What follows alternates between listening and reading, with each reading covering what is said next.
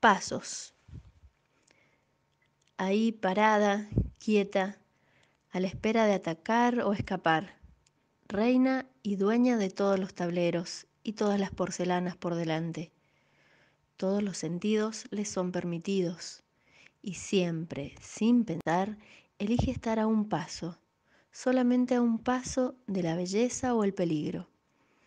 A un paso de su pie diestro comienzan los abismos de colores. A un movimiento de su lado siniestro termina el suicidio de los precipicios. Al borde de sus uñas mariposas se tiñe la miel, el yuyo, la menta, el tiempo con el sol. A un paso se definen los mareos del vértigo, del alcohol y algunos humos.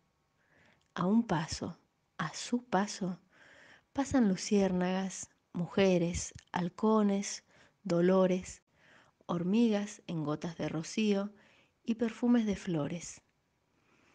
En el límite de su paso comienza la playa, se absorbe la bruma del oleaje, frena el orbitar de la luna, nacen nuevas especies, manda la paz, muere el miedo.